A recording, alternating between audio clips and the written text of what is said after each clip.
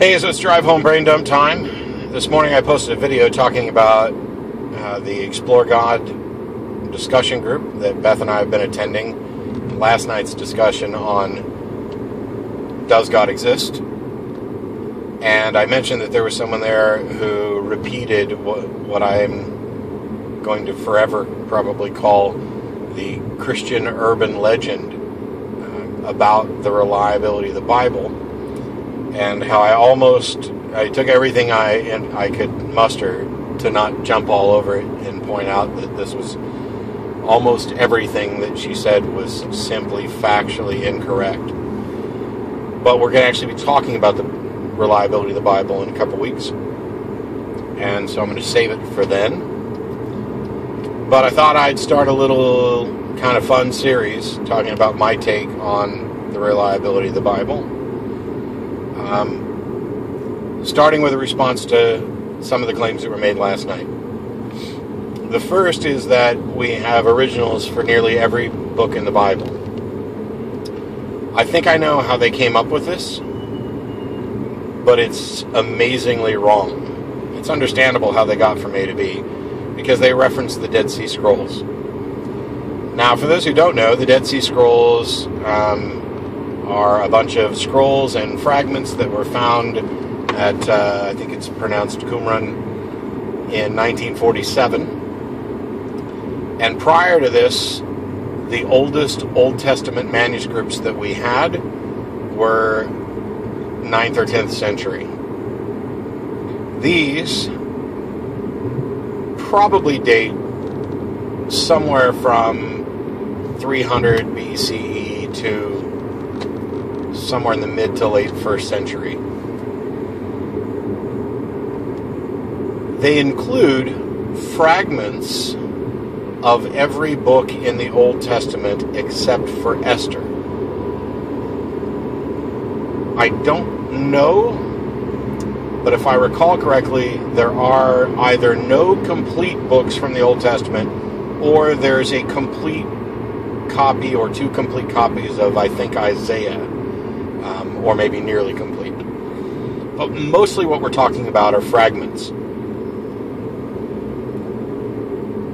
To take the claim, hey, we found an ancient stash that has fragments of every book in the Old Testament except for Esther, and morph that into we've found originals of every book in the Bible except for Esther is just wrong at every conceivable level. First of all, the Dead Sea Scrolls contain nothing from the New Testament. The New Testament most likely uh, wasn't written at all when they stored away their library. There are few or no complete books. I'd have to check. I'm doing all this from memory. Um, Esther is missing. And if we're going to make an argument that this represents the true tradition you know that that we should look at these as reliable because they're the oldest, um, then we would have to gut the existing canon and add a bunch of texts because there are fragments of books that are not in the canon for the Old Testament, the Tanakh. And I can't do the at the end of that that it probably deserves. But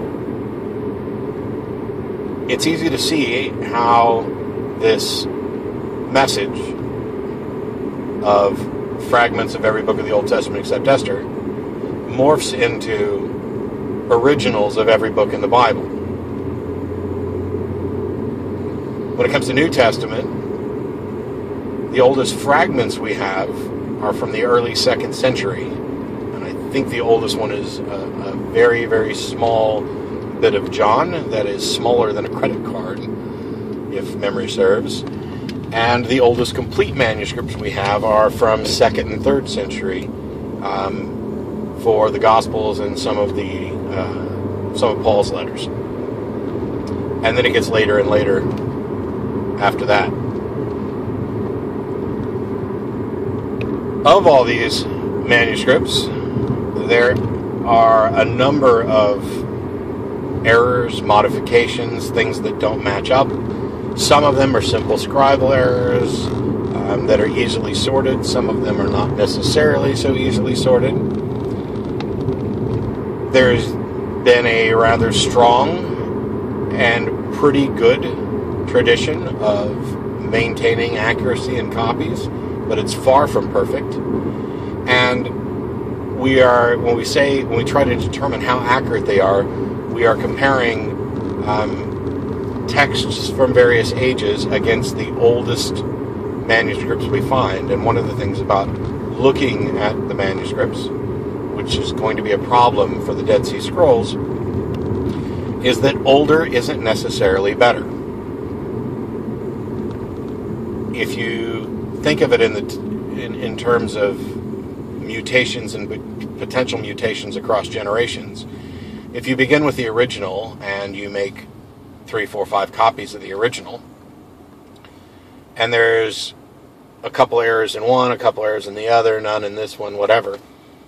The fact that you found an old one and you're comparing it to a much newer one doesn't mean that the old one, because it is temporally closer to the original, is actually scripturally, literally closer to the original. It's possible that it might have more errors um, or more serious errors.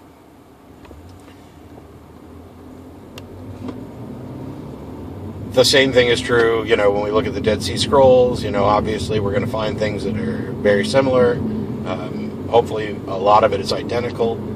Um, but without the originals, it's very difficult to say how close to the originals any of these texts are because we don't necessarily know which copy lines, what, what their ancestry is and where they are in relation to the original. Now, as we get closer in time to the original, obviously we can surmise that um, the first generation copies, even though they might have varied between them, uh, are less likely to have errors of certain types. But there's an entire study and several college courses, I'm sure, that are devoted to sorting out the details of that. Suffice it to say, we don't have originals. We don't have manuscripts. We do not even know the authorship of many of the books.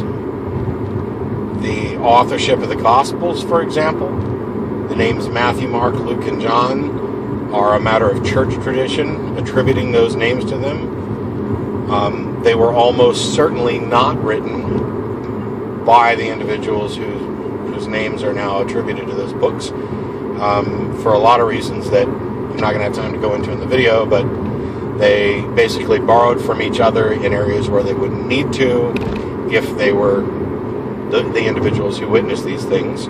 It's unlikely that the Gospels were eyewitness accounts. These are most likely hearsay accounts, maybe one or two steps removed from potential eyewitnesses there's still the, the issue of the historicity of Jesus, which is just way outside the scope of this.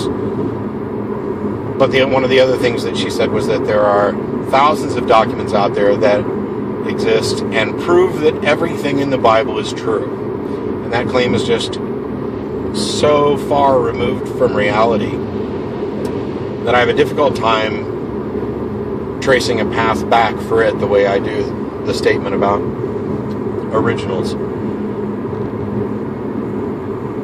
I'm going to do another video talking about the things that haven't been verified, perhaps could not be verified, and perhaps could not be true um, as a response to this claim that everything in the Bible has been verified to be true. This is not what Bible scholars think.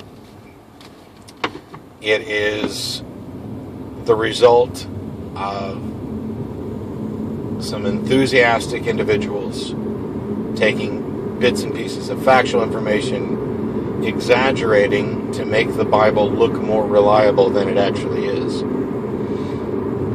And so far, we've only talked about the textual reliability uh, of how true it is to the original, and not about the contextual reliability, how true the facts and the claims are, how accurate these things were to the time. You know, were these things written at the time to relay eyewitness accounts of real events?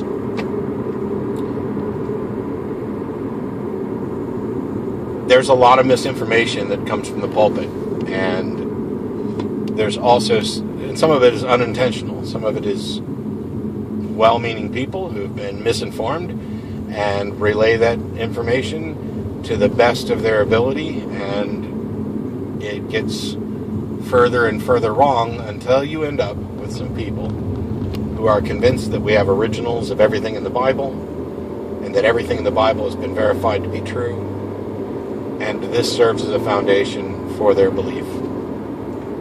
And as I mentioned to the pastor last night, I really wish that ministers would do a better job of educating their congregants about these issues.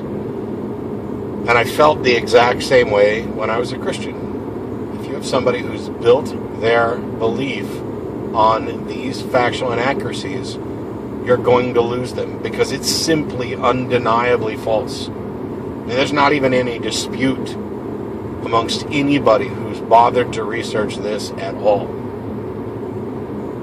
the only way you can get to these claims is through the process of spreading urban legends.